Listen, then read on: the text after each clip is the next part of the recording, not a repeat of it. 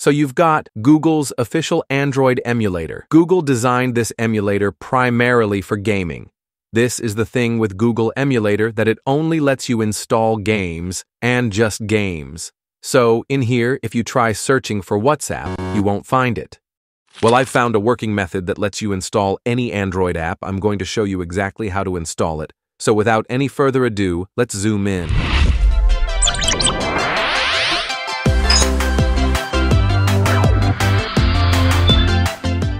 For any of you guys who haven't used the goddamn emulator, I'll leave the link in the description for you guys.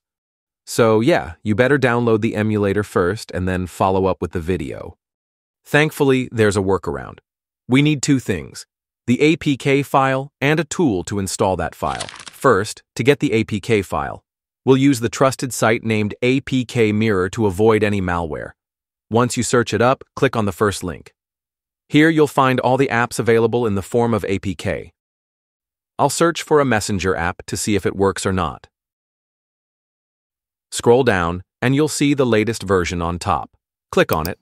Now finally we have our download link.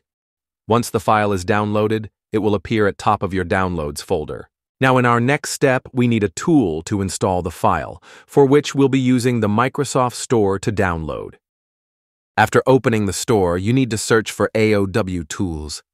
Once you click Enter, click the first software that appears. It might say Trial Version, but this app supports unlimited trials for an unlimited time. Click on the free trial to claim the software, and it will start downloading. Wait a bit, and then click Open. Before you begin to install anything, we need to configure some settings.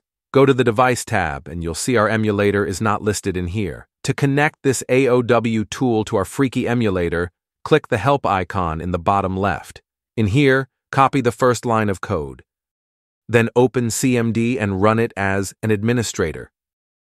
Paste the code that you've copied and click Enter. It'll say OK, which means we're good to go. Now open the Google Play emulator and you'll see it says Online.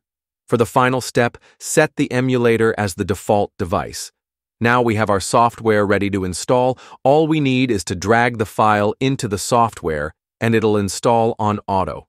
Let me switch to the emulator and you'll see the app. It's right here. As you can see, it's working.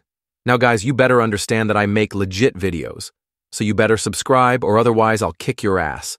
You'll notice there is a problem with navigation. You can't go back and find a home page.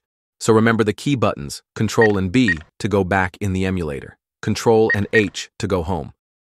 What if your app comes with an OBB file? If you've ever downloaded a game and noticed it comes in a folder, this means it won't be installed normally.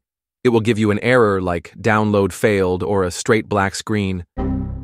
But the solution requires some manual work to fix. However, you don't have to worry because it's actually quite simple. Open the AOW tool and navigate to your emulator's file system. The path we're looking for is Android and then OBB. This is where all Android apps connect to their resource files. Inside this OB folder, you need to create another folder with the exact package name of your app. You can find the name by searching it online, like, what will be the name of the OBB file for Free Fire? After creating this folder with the correct package name, simply copy your OBB file into it. Don't rename the OBB file. Leave it exactly as it was when you downloaded it. If your app still doesn't work properly after following these steps, double check all the steps. Also, make sure the OBB file itself isn't corrupted. Sometimes downloading it again from a different source can solve mysterious crashing issues. Now you've unlocked limitless possibilities on Google's emulator. What makes this so easy to recommend is that you get the performance benefits of other emulators without getting all the RAM issues and horny ads. So yeah, that's the beauty of it. For you, watch this next video on the best first-person shooters available on PC and laptop. Thanks for being till the end. See you in the next video.